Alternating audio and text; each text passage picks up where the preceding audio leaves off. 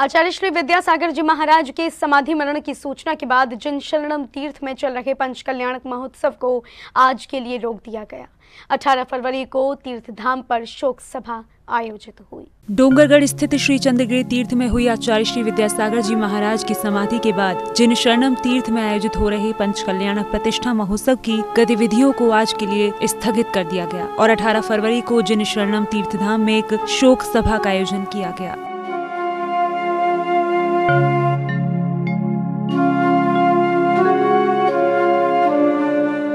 शोक सभा में आचार्य श्री पुलक सागर जी महाराज ने भक्तों को संबोधित करते हुए कहा कि आचार्य श्री विद्यासागर जी महाराज ने आज स्वर्गारोहण किया है और अब आचार्य श्री स्वर्ग लोक से हमें अपना आशीर्वाद देंगे। पल को लगा कि शायद हम दोनों गुरु शिष्य के प्रति उनकी इतनी कृपा होगी कि वो डोंगरगढ़ से चलकर जिन शरणम नहीं आ सकते थे, लेकिन स्वर्ग से हमें आशीर्वाद प्रदान कर सकते हैं।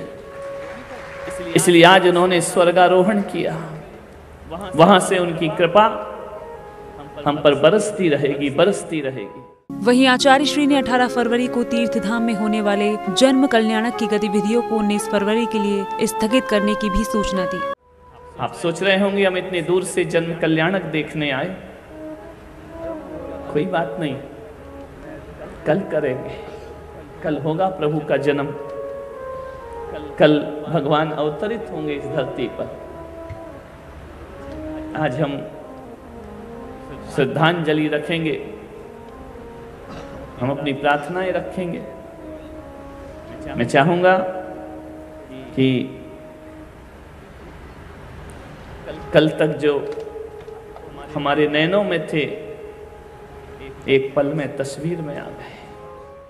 आचार्य श्री पुलक सागर जी महाराज से मिले संबोधन के बाद उपस्थित भक्तों ने समाधिस्थ आचार्य श्री विद्यासागर जी महाराज की शोक सभा में सहभागिता करते हुए गुरुवर के चित्र के समक्ष पुष्प अर्पित किए।